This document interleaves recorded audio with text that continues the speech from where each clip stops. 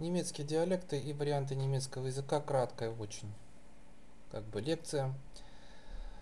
Уже есть отдельная в этом всем курсе, вообще на этом канале, так скажем, э, лекция по моим представлениям, что такое язык и что такое диалект. То есть, в общем, я против политизации этого всего. Кратко просто позицию повторяю. И считаю языком э, всякую форму лингвистическую, которая отличается существенно. Ну и вот то, что называют немецкими диалектами, э, оно часто действительно больше тянет на язык, допустим, типа баварского. Э, ну, принципиально, в общем, как это явление отличается. Три группы там принципиальные. Наиболее серьезное отделение это нижние и верхние немецкие языки. Э, буду лучше языки использовать. Термин. Значит, э, чем в основном отличаются? В, нижненемецких диалектах так называемое второе передвижение не представлено. А именно, э, та, па, ка, я буду с а говорить согласные, мне так ближе по санскриту. Вот эти та, па, ка, они сохраняются. Значит, такие общегерманские. То есть общегерманские это которые, допустим, представлены в английском, э, в голландском. Вот. А в верхненемецких вот эти тапака перешли в са, фа и в так, та там в ца перешло, э, значит, па перешло в фа, или, или, или, в, или та и, и, или в ца или в са, вот в чем проблема, да. Та или в ца или в са, па перешло в фа, и к в х перешло, макен махан. Ну, то есть примеры какие? Допустим, das, хорошо известное это, да, верхненемецкое, оно будет ниже немецком dat. Или Wasser, вода, будет water. Offen, открытый, будет open. И легко заметить, что нижненемецкие формы это те, которые в английском вот пишутся, допустим. Они же в английском пишутся, как они в 16 веке в английском говорили, да? Вот они так вот говорят часто в нижненемецком, похоже на то, как пишется в английском. Open, machen, тит время, которое Zeit, да? Setten, садится вместо setzen, да? Как в верхненемецком и так далее. И вот как мы видим э, на карте нижненемецкая эта зона довольно большая. И э, нижненемецкая норма, она была одно время достаточно популярная в связи с тем, что был Ганзейский союз в средние века. И у него был э, вот этот язык, так сказать, общий ганзейский, он был нижненемецкий. В какой-то степени он воспринимался как основной вариант немецкого в то время. Однако потом этот немецкий, Ганзейский союз распался, Лютер говорил на верхненемецком диалекте, и, в общем, где-то вот в, 16 веке уже общепризнанной стала верхненемецкая норма.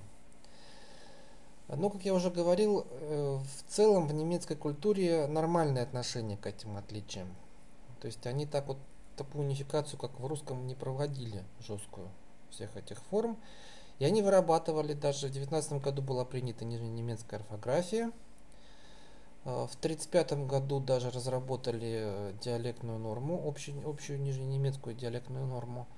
И она у них используется ограничено. Там, допустим, учебники на нижненемецком выходят, в богослужениях, в театре могут на нем Значит, они вполне нормально относятся к использованию в устной речи, естественно, диалектов этих устных языков, да. Википедии у них есть практически на, на каждом вот этом языке, это можно посмотреть. Э, на каждом вот этом серьезном устном языке немецком есть они у них. В общем, нормально они поддерживают они эти нормы, и они сохраняются во многом в устном общении. Хотя, естественно, телевидение и СМИ, они, конечно, унифицируют так или иначе. Не насильственно, но все равно, если долбит телевизор каждый день на литературной норме, диалектоносители рано или поздно переходят, естественно, на литературную норму А верхние немецкие диалекты делятся на средние и южно-немецкие, а именно там уже так называемое второе передвижение согласных, оно по-разному реализовано. Допустим, в средненемецком будет аппель, а в южно-немецком апфель. То есть вот это па и пфа в данном случае. по-разному реализовано в средне- и южно-немецких диалектах. Ну и вот в основном вот это изоглосса аппель-аппель считается границей средней немецкой нормы и южно-немецкой. А, также все вот эти э, диалекты делятся еще на подгруппы. То есть нижненемецкие диалекты делятся на западную и восточную подгруппы. Западные – это нижнефранкские, нижнесаксонские языки. Это западные нижненемецкие языки. А, характерны тем, что дифтонги они в целом не любят. И у них часто вот то, что в дифтонгах, оно переходит в монофтонги. То, что в, в нормативном языке дифтонгами является. Э, имеется единая форма множественного числа, то есть вот в нормативном языке множественное число, как уже говорили, там около, около 5, там, по точно 6, по-моему, у них окончаний, да? Вот в нижнесаксонском языке только окончание «эт». То есть единая форма есть. В саксонском языке единая форма множественного числа. Только на «эт» кончается она. Восточная подгруппа нижненемецких языков это Мекленбургский и Бранденбургский. Это на самом деле зоны заселения – это как раз вот Бранденбургский, это район Берлина, в общем, и вот этот вот район Мекленбургский, это уже район близкий к Дании. А, на самом деле это зона колонизации, где истребляли, значит, славян и заселяли немцев. И вот там тоже специфический этот нижний немецкий диалект сформировался. А, вот. Ну, пожалуй, даже не будут мелкие особенности. Он еще Поскольку там вот эта колониальная зона, он у них во многом сейчас вытеснен стандартом, они его меньше употребляют а, в устной, а, в устной форме. Средненемецкий тоже делится на западную и восточную. Западно-средненемецкая это как раз вот эта зона, а, рейнская зона промышленная высокоразвитая. И там, в общем, он так хорошо тоже держится, имеется в виду как устный язык. Это репуарский и мазельский языки, репуарский район Кёльна, кёльнский диалект еще называют его, гессенский язык, фальский язык. Это все были независимые территории довольно долго, и они там удержали. Ну там вот это значит э, ват, ват, дат, эц и так далее. То есть вот эти потока не переходят они никуда. Вот это основное отличие. А, то, что я говорил, в фальском языке дифтонгизация идет долгих и, у, и. Восточный это тюрингский, верхнесаксонский, э, селесский был раньше, селесского сейчас нет, переселили всех селесцев. А, южно-немецкие языки, ну вот они как бы, они и соответствуют норме, и в то же время они отличаются между собой. То есть у них основные особенности как в литературном языке, но у них еще есть между, между, между ними самими особенности. А, вот, они, в общем, тоже там два, два, две зоны, западная и восточная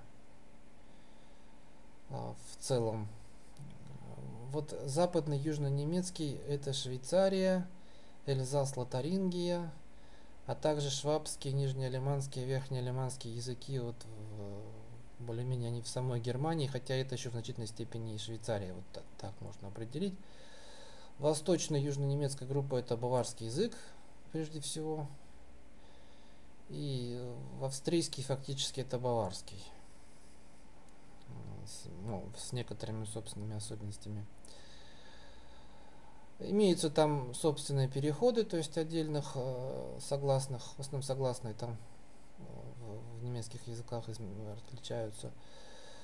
Вот. И характерна дифтонгизация, в общем, для южных диалектов. То есть долгие, допустим, и, у, ü, они переходят в дифтонги типа эй, оу. Дифтонгизация видна и в стандарте, а в южных отдельных языках она еще сильнее. То есть там еще больше этих дифтонгов. Э, значит, в баварском языке баварки довольно отличаются, там даже есть э, собственно личные местоимения, которых нет в стандарте. Э, много собственных слов, естественно, везде, африкаты свои и так далее. Вот. То есть я так вот кратенько прошелся. В основном по фонетике есть также грамматические особенности серьезные между всеми этими языками. И, естественно, собственно, лексики дофига. Вот. Возможно, швейцарский язык я попробую осветить, как такой сильно отличается, и он имеется в другой стране, и там свои функции. Значит, национальные варианты. Национальные варианты это что? Это в принципе стандарт, стандартный немецкий, но он имеет особенности в стране, э, в которой используется. Это именно в настоящее время это австрийские швейцарские варианты. Ну, в общем, это явление аналогичное хорошо известному явлению с национальными вариантами английского. Когда, в принципе, американцы и британцы, конечно, хорошо друг друга понимают.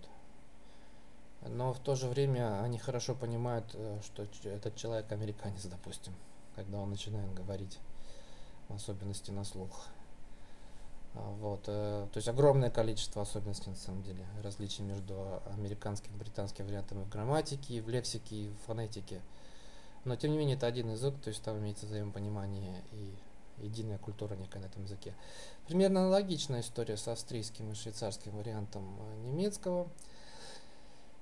Вот австрийский, значит, австрийская языковая ситуация какая? Есть литературная норма немецкого языка с особенностями. Есть э, устный язык. Устный язык это баварский в Австрии. То есть так вот, если когда употребляют традиционную терминологию, говорят, что баварская диалектная область. Э, я бы баварский, конечно, отдельным языком считал. Очень много отличий от стандарта этого. Там просто он приближается к стандарту, потому что стандарт влияет, но это уже явление вторичное. То есть так сам по себе баварский язык, конечно, это самостоятельный язык совершенно. Ну и есть венский диалект, естественно, который более-менее так влияет на все остальное в Австрии. И э, в том числе влияет на диалекты. Таки, таким образом, венский диалект является основой разговорного языка и влияет на вот эту литературную форму немецкого. То есть, а Естественно, литературный язык, который используется в, на письме, там, в, в, в официальной всей этой коммуникации, это немецкий стандарт. Вот. Но он взаимодействует вот с, э, с баварским языком, который используется в основном в разговорной речи, такая ситуация. Значит, чем характеризуется австрийский национальный вариант немецкого? Большое количество местной лексики, естественно. А, вот, в том числе и семантические расхождения вот тут на таблице, то есть пример, допустим. То есть то, то же самое слово, которое в немецком одно значение имеет, может иметь другое значение в австрийском варианте. Это только пример, там их много, этих отличий в лексике. А, характерно для австрийского больше заимствований иностранных. То есть в немецком одно время проводили политику пуризма, и нагородили много всяких сложных слов немецких, над которыми часто смеются. Смысл этих слов был в том, чтобы заменить какие-то заимствования. То есть вместо заимствования сказать какое-то сложное слово. Ну, то, что для исландского сейчас характерно, но в исландском там органично, это просто язык такой, да, что там заимствований почти нет. А немецкий-то посреди Европы, а в Европе привыкли все-таки, вот, допустим, определенные вещи всегда латинизмами обозначать. Или какими, допустим, французскими какими-нибудь словами. И смотрится иногда, да, э, придурковато. Но вот в э, вариантах национальных это все смягчено. То есть в австрийском, конечно, больше заимствований. И в швейцарском немного забегаю туда. Э, различные словообразовательные модели, то есть, допустим, в австрийском продуктивен суффикс лер. То есть многие, допустим, обозначения профессии, они делают суффиксом лер, а в немецком там как-то как-нибудь по-другому это все сделано. Есть некоторые отличия вроде имен существительных э, в австрийском варианте. Э, и, в общем, имеется произносительная норма, то есть э, имеется, так сказать, собственная манера произносить, которая там закреплена. Австрия была независимой и остается, да. Еще в 1904 году установили фонетическую норму австрийскую, отдельную от германской. И, в общем, она у них там имеется. Насколько я понимаю, они ее используют и по телевизору. То есть официальной такой речи. Небольшие отличия в орфографии. Но вот э, сколько там вообще отличий, это зависит от того, как они учитывают. Цифры от 2 до 5 тысяч лексических отличий между австрийским вариантом немецкого и э, стандартом немецким. Но это зависит от того, как они учитывают. Допустим, фразеологизмов много местных можно их поучитывать тоже. Реалии, они считают их э, национальным вариантом или нет. Ну, то есть мест, местные какие-то штуки, которые только местные знают, и вот, допустим, они их как-то по-своему называют. Это национальный вариант у них или это у них э, вообще немецкое тоже спорный вопрос. В общем, от 2000 до 5000. Вот такие оценки лексических отличий между австрийским вариантом и стандартом. Швейцарский национальный вариант то же самое. Есть швейцарский там язык устный, южно-немецкий. Вот, возможно, я его сделаю отдельно, так как э, совсем сильно отличается. Я с носителями говорил, носители считают, что у них язык другой. И они его периодически используют, довольно широко используют они его там. А этих они иногда с трудом понимают, кто говорит на обычном немецком. Вот. Ну и имеется в виду, имеется у них литературный язык, который, в принципе, это немецкий язык стандартный, но устный язык швейцарский, который сильно отличается, влияет на этот литературный язык. Такая, ну, при, похожая ситуация на Австрию. Литературный этот язык обучают и в школе ему, официальное общение в суде, в парламенте, в армии, в богослужении, в печати, на радио и на телевидении. Но он в основном письменной форме. То есть вот они читают на этом литературном языке, а говорят они на швейцарском языке. А, значит, э, на швейцарском языке они могут говорить, э, допустим, в каком-нибудь клубе, могут, в принципе, в суде. Если они в церковной проповеди хотят, чтобы совсем понятно было, они переходят на швейцарский язык. На радио, на телевидении они могут швейцарский язык использовать. Они могут издавать на нем газеты и художественную литературу, естественно, то, что художественная литература отражает, как люди говорят в обычной жизни, и они ее на швейцарском языке, ради бога, тоже делают. Вот такой, значит, э, некоторые немножко нам э, ситуация не совсем понятна, э, когда они, один язык у них устный, другой у них письменный, и все это считается немцами. Ну вот так люди, в общем, живут, и, и так им комфортно. А в литературном швейцарском много довольно особенностей под влиянием вот этого языка устного. Фонетическое, фонетических много, то есть отдельные звуки, они, допустим, вот это х, х э, немецкое вот это х, х, они как к могут произносить довольно часто, как пример. Они не, не, не при дыхании, то есть вот привыч, для немецкого пха, та, ка, они глухие, как при дыхании. Произносят в швейцарском этого тоже э, в произношении швейцарском это не принято, так скажем. Орфографические особенности небольшие, в словарном составе довольно сильные, и в словарном составе характеризуются они тем, что много, во-первых, местных слов всяких, и больше заимствований, естественно. А, тоже, то есть вот это вот э, стремление немецкой общей нормы к пуризму они не, не поддержали и правильно, общем, сделали, потому что это для Европы нормально иметь большое количество общеевропейской лексики и швейцарской по этому норме это тоже наблюдается. То есть вместо всяких громоздких э, немецких конструкций, чисто германских, они используют общеевропейские нормальные слова. Вот этим характерен швейцарский. Ну, значит, другую, другие иногда могут у них быть приставки и суффиксы в словах, что тоже, в общем, нормально. Но так в целом они, конечно, между собой понятны. Вот, это кратенько, и то уже получилось 18 минут больше, чем обычно. Если там вникать в каждый там репуарский язык, это много будет совсем. Вывод какой вообще, что вот, во-первых, немецкий язык это куча языков, если мы берем устные языки. Во-вторых, под влиянием вот этих устных языков у нас имеется также два, так скажем, национальных варианта, то есть они уже проникли, их влияние проникло в письменные варианты немецкого, австрийский и швейцарский. И вот таким образом сложным там все это взаимодействует.